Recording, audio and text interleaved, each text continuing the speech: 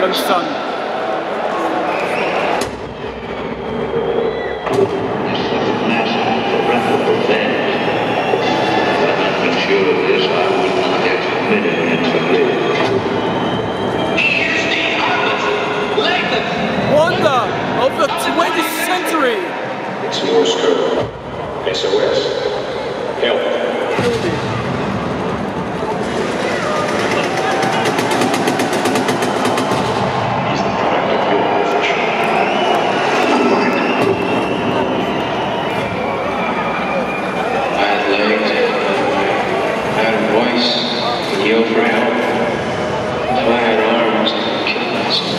Death has a dignity all its own.